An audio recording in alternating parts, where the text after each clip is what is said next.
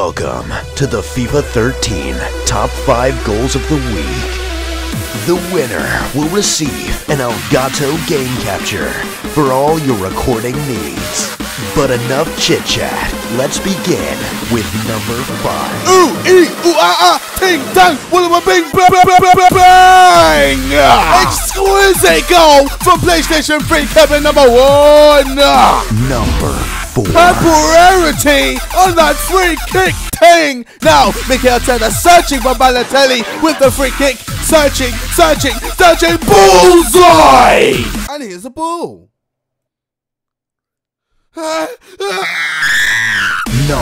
3. I'm Cam Costa. As on the ball, let's see what he can do. Brilliant piece of skill to get past one player there. Now he's on the run. Two players on his back. Gets past another with the shimmy. Takes a strike. Oh my god.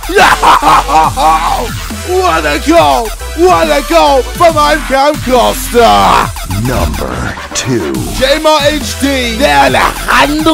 On the ball. Nice scoop turn to get past one. Skips another challenge. Beats another player with a bit of skill there. Nice for partner. Jesus Christ. Himself out of nowhere with a freaking bicycle kick. And finally, the moment we've all been waiting for.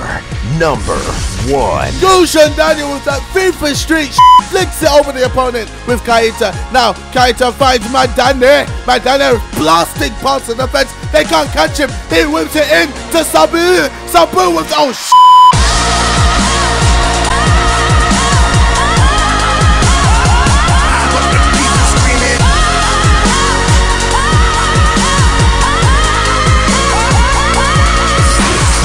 Okay, right there, right there, that was some FIFA Street sh- ah, Damn! Gee, did you see the way he flicked it up and then freaking did a bicycle? My, I, have never, I haven't even scored a bicycle kick in my freaking FIFA 13 career, and he just does.